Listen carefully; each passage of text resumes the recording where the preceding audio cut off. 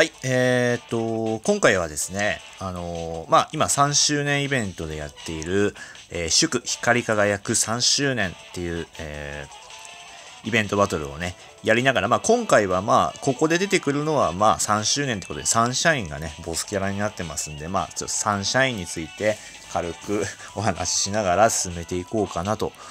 思います。ちなみにあの、サンシャインっていうのは、まあ結構ね、筋肉マンだと主要キャラかなとは思うんですよね。あのーまあ、初登場は悪魔ロッキシーとして登場してるんですけどね。まあ、サンシャインといえば、まあやっぱり外せないのが、その人間だった頃のジェロニモに敗戦しているっていうところですよね。まあ、だからこれがあるからね、ちょっとあの、その、サンシャインのその、実力っていうのはなんかいろいろ 物議が、あの、出されたりするんですけどね。ただ、実力的にはね、まあ設定上も悪魔ロッキ士っていうと、要はその悪魔超人でも、あの、かなりエリートの部類なんでね、強い設定だとは思うんですね、かなり。実際、これ話を進めていくと、あのーまあ、最初こそね、そのジロニモ、人間のジロニモに負けてるんですけど、えっ、と、まあ、例えば次のね、あのー夢の超人タッグ編では、まあ一度、その負けたジロニモとそのテリーマンね、アシュラマンとコンビを組んでね、あの、まか、もう、任してますしね。まあ結局そのね、筋肉マンと、まあその、グレートとのね、対戦でも、まあ負けはしたものの、あの、まあ結構、苦戦をさせたってことですよね。ちなみにね、あの、結構新しいシリーズの、要は、パーフェクト超人オリジン編ですよね。オリジン編でも、あのーまあ、結構活躍するんですよ、サンシャイン。で、ああいうところを見ると、やっぱり、まあ、なんていうのかな、あの負けはしたものの設定上、やっぱかなりの強キャラ設定なのかなとは思います、サンシャインは。で、まあ、ちなみにサンシャインっていうのは、その、悪魔ロックシ悪魔超人の中でもね、僕、最初に思ったのがね、その、外見から見るとね、そんなに悪魔超人っぽくないような外見かなと思うんですよ。あの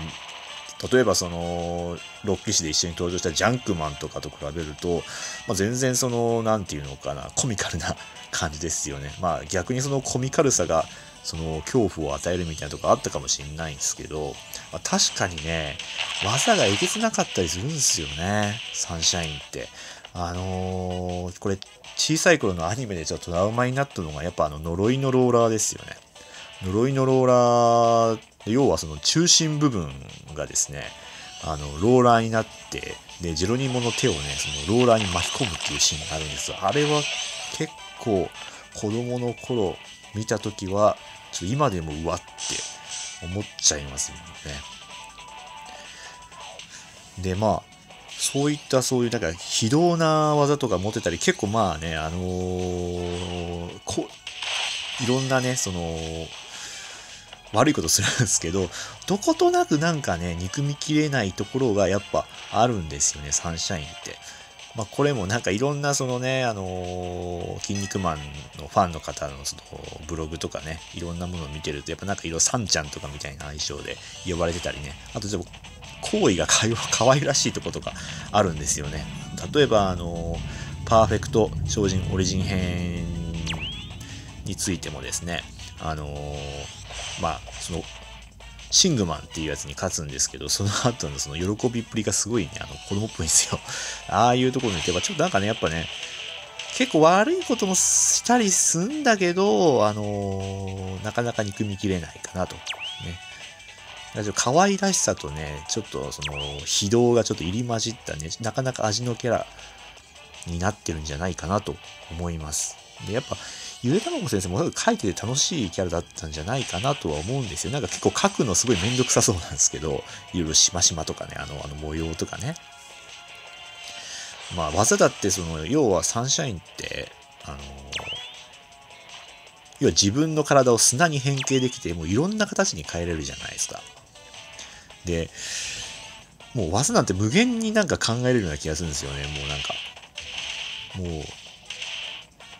登場すればするほど新しい技をね、なんか使えるような感じがするんでね。だからまあ、そういう点からもして、なんていうのかな、書きやすいキャラだったんじゃないのかなとは思います。まあ、ちなみにこれ、マッスルショットでのそのサンシャインの扱いなんですけど、これ、まあ、意見分かれるとは思うんですけど、まあ、僕としては結構ね、優遇されてんじゃないのかなとは思います。例えば今使ってるこれ、K ポイントで、あのー、変えれるサンシャインなんですけど、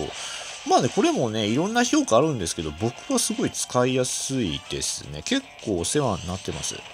このサンシャインに関しては。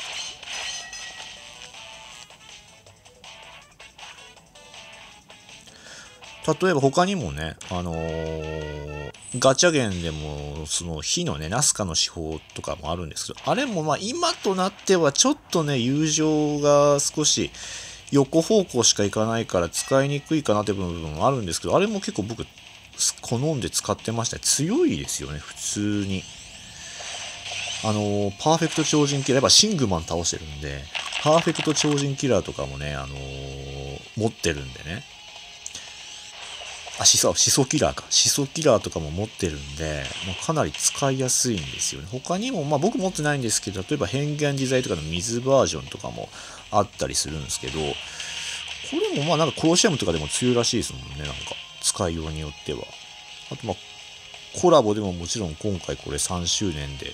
登場してますし、あの前にもそのニックリマンのコラボかな、あのー、チョコのお菓子に扮したね、チョコマジンみたいな感じで出たりするんでね、登場シーンも結構多いわけですよ。って言って結構ね、あの、やばい感じになってるんだけど、あのー、まあ、そういう点も含めてもね、やっぱ、なんていうのかな、あのー、作者の方にも愛されてるところもあるだろうし、あの他にもね、あのファンからもね、結構なんか愛されキャラなんじゃないかなとは思ったりするんですよね。今日ちょっと運がいいな。たまに結構ね、これ死んだりするんですよ、僕。